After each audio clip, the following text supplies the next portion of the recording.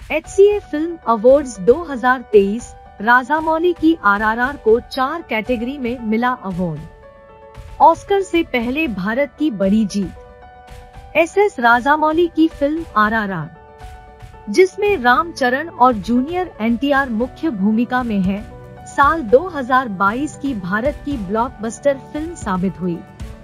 आरआरआर अब दुनिया भर में धूम मचा रही है।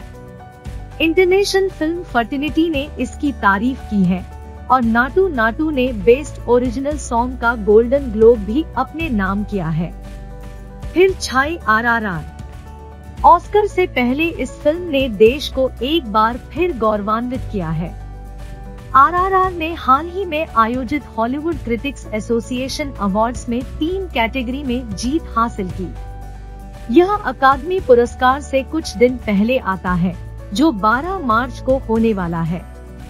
आरआरआर एक पीरियड ड्रामा है, जिसका निर्देशन एस एस राजामौली ने किया है। देश के लिए काफ़ी गौरव की घटना है, क्योंकि फ़िल्म आरआरआर लगातार विदेशों में कामयाबी के झंडे गाड़ रही है।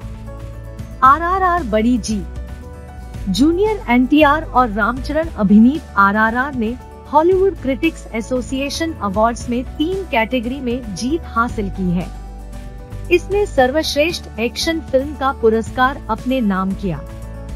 फ़िल्म ने सर्वश्रेष्ठ स्टंट और सर्वश्रेष्ठ गीत, नाटू नाटू कैटेगरी में भी जीत हासिल की और इसे बेस्ट इंटरनेशनल फ़िल्म का अवार्ड भी मिला है। ऑस्कर 2023 से पहले फ़िल्म के लिए एक बड़ी उपलब्धि है, जहाँ नाटू नाटू को बेस्ट ओरिजिनल सॉन्ग के लिए नॉमिनेट किया गया है।